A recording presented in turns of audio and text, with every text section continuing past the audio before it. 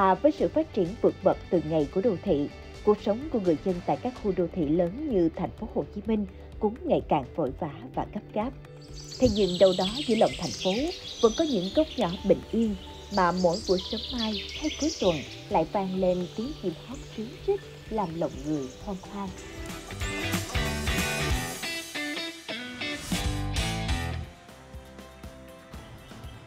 Kính thưa quý vị khán giả, khi nhắc đến thú chơi sinh vật cảnh của người dân thành phố Hồ Chí Minh thì muôn màu muôn vẻ và trong đó thú nuôi chim cảnh đã trở thành nét độc đáo của người dân thành phố từ nhiều năm nay. Và thật thú vị khi dưới một khoảng không thanh bình, chúng ta có thể lắng lòng nghe những tiếng chim hót trầm bổng như một dàn hợp sướng, phần nào sẽ giúp chúng ta có thể xua đi những lo toan bộn bề của cuộc sống ngoài kia. Ngày hôm nay Thu Thảo cùng với chương trình Góc nhỏ Sài Gòn sẽ đưa quý vị đến với một không gian đặc biệt với thánh thót của những tiếng chim. Để biết đó là đâu thì xin mời quý vị cùng theo chân Thu Thảo ngay bây giờ nhé. Đi thôi! Trong mỗi chiếc lồng này là những chiến viên hạ mi đang chuẩn bị bước vào một cuộc thi vô cùng gây cấn. Khi chiếc khăn được mở ra, thì cuộc thi sẽ chính thức bắt đầu. Có đến hơn 40 chú chim tham gia cuộc thi, nhưng chỉ có thí sinh chim múa hát hay nhất mới giành được ngôi vị quán quân. Trên dàn treo, những chú chim ra sức khoe tài múa hát.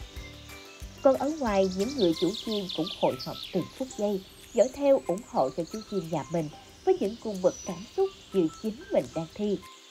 Khung cảnh náo nhiệt và vui nhộn này là một trong những hội thi định kỳ dành cho chim mà Hội Sinh vật cảnh quận 11 tổ chức, tạo nên sân chơi cho rất nhiều người yêu thích và nuôi chim cảnh.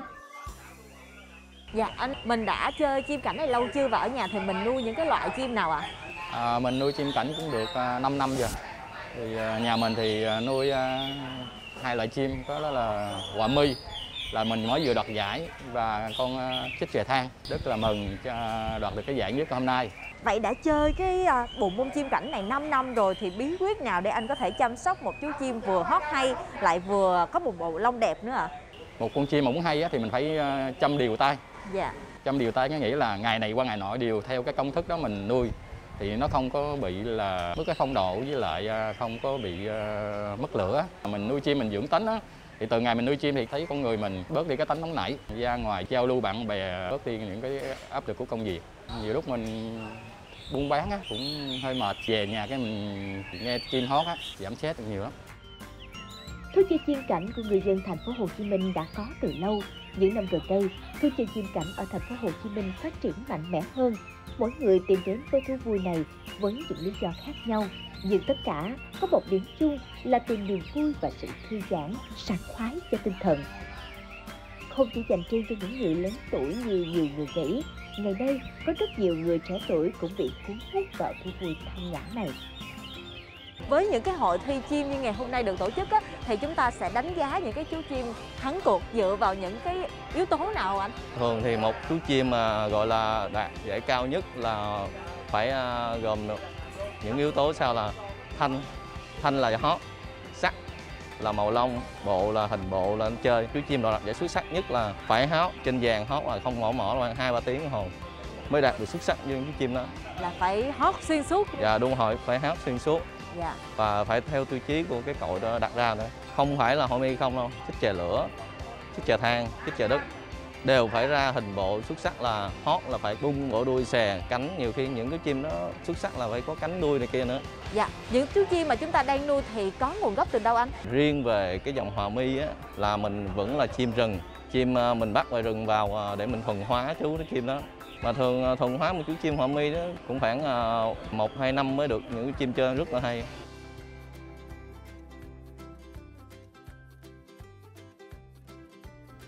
Có dịp gặp gỡ anh Võ Nam Lộc, ngụ quận 11 thông qua hội thi dành cho chim lần này.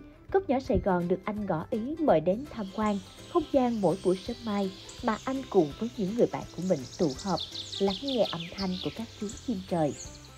Cốc nhỏ này chỉ là một trong rất nhiều nơi mà những người yêu thích chim cảnh ở thành phố Hồ Chí Minh gặp gỡ với nhau để sinh hoạt mỗi ngày. Chơi chim cảnh cũng lắm công phu bởi để nuôi, huấn luyện chim hót múa hay thì ngay từ việc chọn được con chim ưng ý là điều không hề dễ. Bên cạnh đó, người chơi phải am hiểu tường tận về các loại chim, các điểm mua bán, cách chăm sóc như tắm rửa, cho ăn uống, cách luyện cho chim hót, múa. đó là sự khó khăn và cũng là nét hấp dẫn thu hút người chơi. Dạ anh ơi, mình đam mê tiếng chim hót như vậy thì khi mà mình nghe được những cái tiếng chim vào buổi sáng thì cảm xúc của mình như thế nào? À, thì trước uh, mỗi buổi sáng người anh uh, hay tụ họp ở đây uống ly cà phê nghe tiếng chim hót rồi bàn luận với nhau rồi cảm thấy một ngày mới cảm thấy nó nó nó thoải mái hơn thì um, để uh, đi làm. Dạ anh ơi, à, cái việc mà chúng ta chơi chim và chăm sóc chim á thì có khó không anh? Mỗi thứ nó đều có một cái khó riêng. Nếu mà mình am hiểu về nó thì cảm thấy nó dễ. Còn nếu những người mới vô mới chơi á thì cảm thấy sẽ nó khó thuần từ một con chim bổi. Bổi có nghĩa là bắt về rừng về lên tới mà hả nuôi lâu năm thì nó nó sẽ khác nữa đi rất nhiều. Nó bởi vì có có người nuôi khó có người nuôi không khó.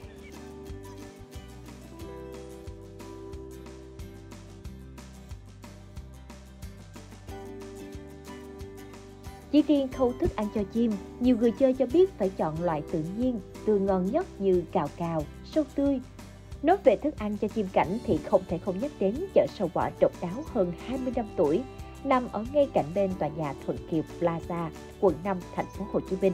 Hầu hết những người nuôi chim cảnh đều biết đến ngôi chợ này, vì nơi đây bán chủ yếu là các loại sâu bò, cào cào, dế là món khoái khẩu của những chú chim.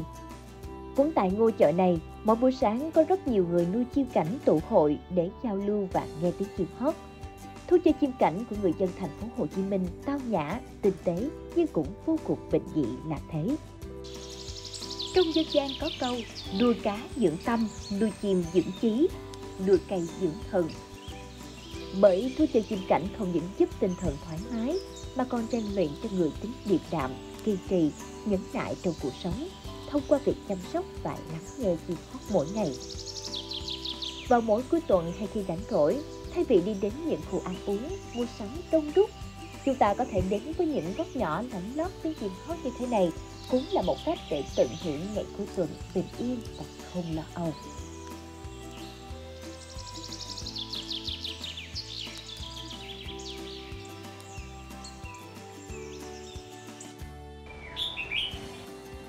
Thưa quý vị khán giả sẽ thật thú vị nếu mỗi buổi sáng chúng ta có thể lắng nghe được tiếng chim hót thánh thót và bắt đầu một ngày mới với thật nhiều năng lượng.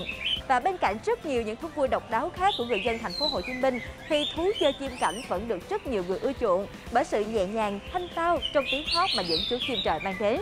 Và đến đây thì số phát sóng tuần này của chương trình Góc nhỏ Sài Gòn cũng xin được phép khép lại. Hẹn gặp lại quý vị và các bạn trong số phát sóng tiếp theo, cũng trong khung giờ quen thuộc trên kênh VTV9.